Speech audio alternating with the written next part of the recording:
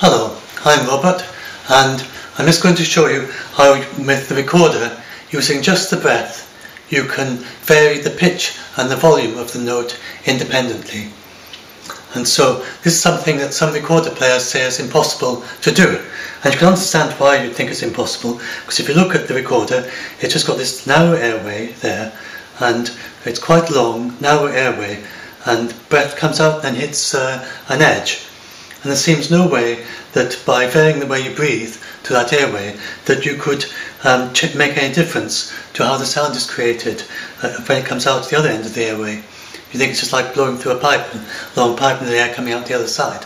And how could the way you blow at the same volume pressure, at the same pressure volume, make any difference to the um, pitch or the volume, to the pitch of the sound at the same volume? Well, uh, for I'm going to show you that it, it can make a difference and then I'm going to talk a little bit about why I think it does, why, why I think it happens.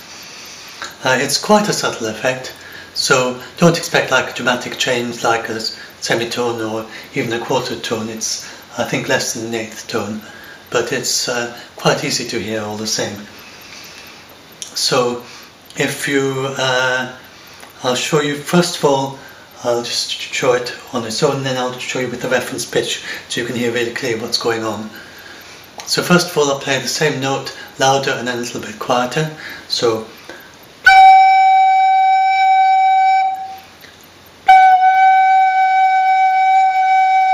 that's the same pitch and um, difference in volume. And now I play the a quieter pitch at two different at two different pitches. So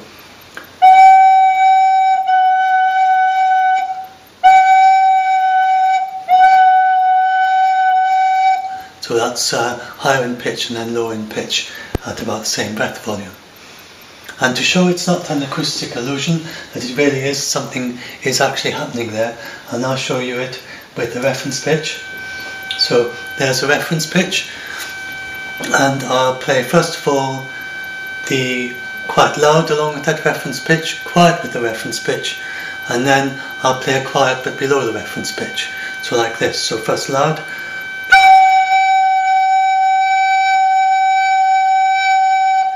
Now quiet. And now quiet and below it.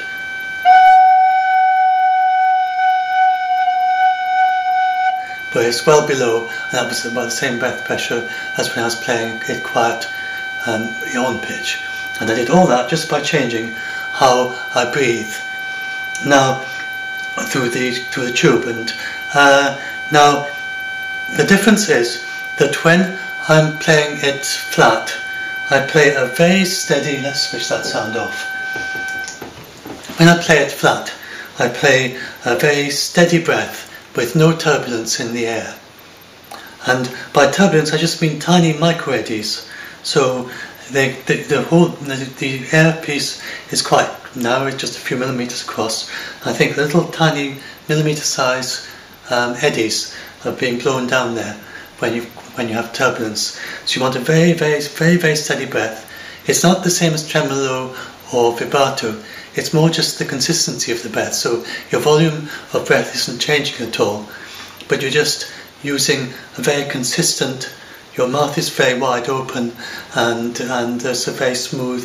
There's no nothing obstructing the airstream all the way through, and that makes it flat.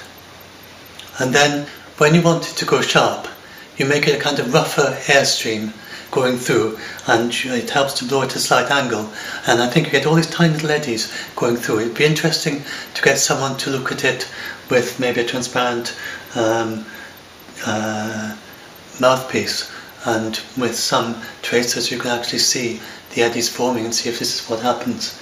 But I think that's what's happening, that you're getting little tiny eddies going through and then they hit the edge because you can also hear a difference in the quality of sound as well. It's not the same quality of sound at the same volume, but it's well within the normal parameters. Um, you know, it sounds. It's not a. It's not like an awful sound.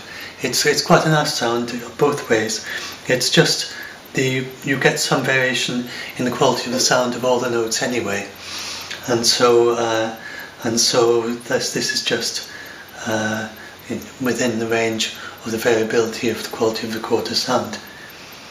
So uh, whether that's useful or not, I'm just saying it just to show because some people think it's impossible. So I'm just showing you that it's possible and it can be done.